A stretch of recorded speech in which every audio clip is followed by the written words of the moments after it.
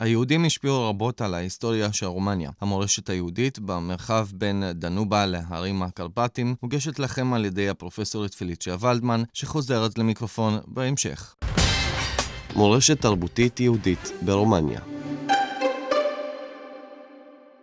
ממשיכים את הסדרה על המורשת הייחודית ברומניה עם שני מבנים נוספים בערד. הבית הגותי שברחוב ניקולאי בלג'סקו מספר 6 והבית אין המנעול שברחוב טריבונול דוברה מספר 7. הבית הגותי מאופיין בארכיטקטורה בעלת סגנון נדיר שניתן לפגוש באזור העיר ערד, הסגנון הנאו-גותי. המבנה בעל מרתף קומת קרקע ועוד קומה, בנוי מאבן ויש לו שלד מעץ שנראה נאו-גותי. למרות שהארכיטקט לא ידוע בהתאם להיסטוריוגרפיה המקומית, קומת הקרקע נבנתה במאה ה-18 והמבנה כולו הושלם בין השנים 1800 ו-1850. מעל קומת הקרקע נבנתה קומה נוספת עם קישוטים בסגנון גותי ושער מזרחי. המבנה שופץ בסביבות שנת 1980 ובשנת 2000 החלק החיצוני של הבית עבר שיפוץ יסודי. בהתאם להוכחות הכתובות, כל בעל הבית בין השנים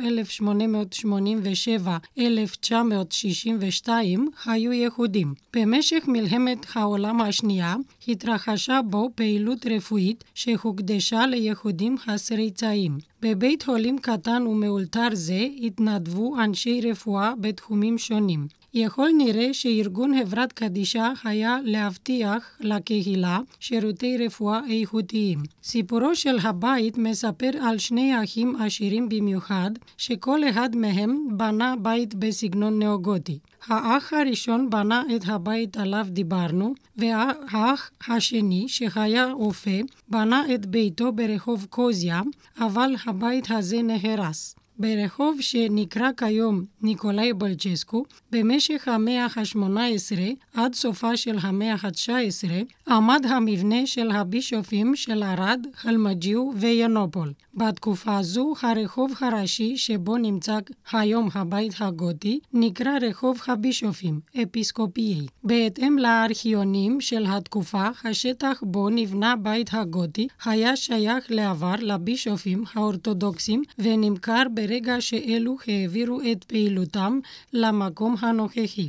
היום הבית הגותי מאכלס בקומת הקרקע שטח מסחרים ובו נמצא הגלידריה קואנדי. בקומה יש דירות למגורים. הבית נמצא ברשימת המונומנטים ההיסטוריים בערד משנת 2015. הבית עם המנעול נבנה בסביבות שנת 1815 על ידי יוסף וינקלר, סוחר וינאי ידוע, ובשנת 1851 נוספה קומת לבית. בהתחלה הבית שימש את הגילדות של ערד, שארגונים אלה היו בעלי מסורת עתיקה באזור.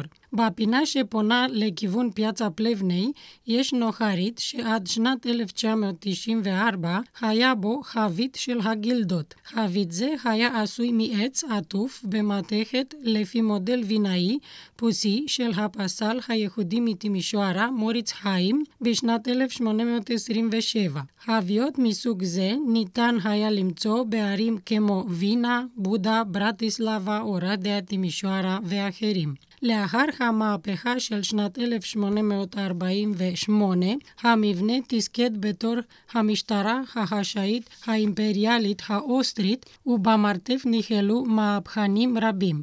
המעטפת של הבית שונתה שינויים רבים במשך הזמן. למבנה יש שתי קומות וחצר פנימית. היום בקומות העליונות גרות משפחות ובקומת הקרקע יש כמה ארגונים מסחרים.